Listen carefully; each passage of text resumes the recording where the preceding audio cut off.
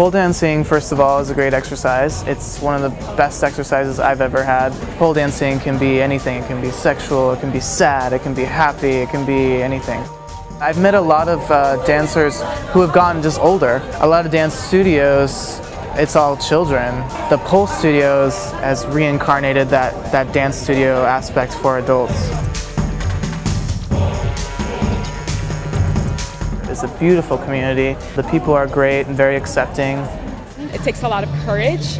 I mean, it's it's scary the first time. You know, when you get up there and you're upside down, you're hanging by nothing and the floor is underneath you there's no net there's no nothing there's no safety you know but there's just so much so much strength and, and dedication involved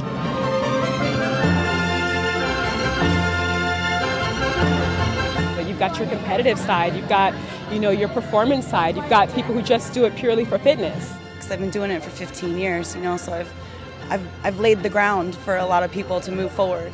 And now it's like it's like here it is this is what's happening this is so awesome. And for me it's just awesome to see all the people that I've I've not been able to unite yet. Travel the world it's just been a real blessing for me.